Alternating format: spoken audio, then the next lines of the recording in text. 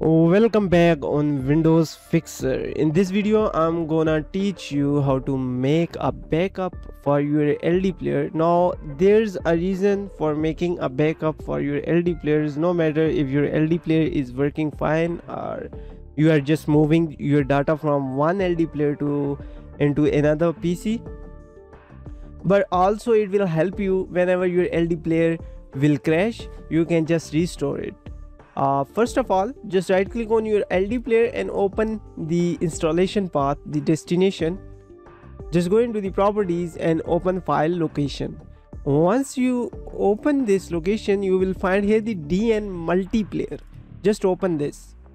Now here you can see this is the ld player launcher that uh, automatically first time uh, created. Now click here on the backup and restore and then click on the backup now you can uh, see here? Compressions for long time if you are storing this for a long time then you can also compress it. It will decrease the size uh, but i guess it will uh, make a zip file or a rar file. So later on whenever you need this you can just extract the zip or rar file and then you can use your compress compress uh, compression file right now we are just simply going with this and uh, suppose we are just selecting this path and then click on save you will get this file and that's it. Your problem fixed here. Now however your ld player will crash you can simply go here delete this one.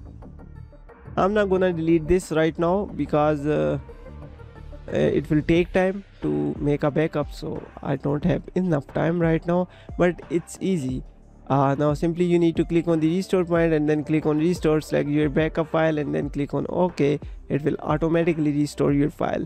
Uh, right now uh, you see I just select the file and it did not take any time because uh, I did not delete this player and the file created from this launcher. So that's why it's uh, just suddenly happened anyways this is the solution for if your ld player is crashing or even you are moving your data from one pc to another. This will solve your issues. I hope you like this video. Hit the subscribe button. Share it with friend. If you have any question just let me know in the comment section. So i'll guide you further. Till then just take care yourself. Allah hafiz. Bye bye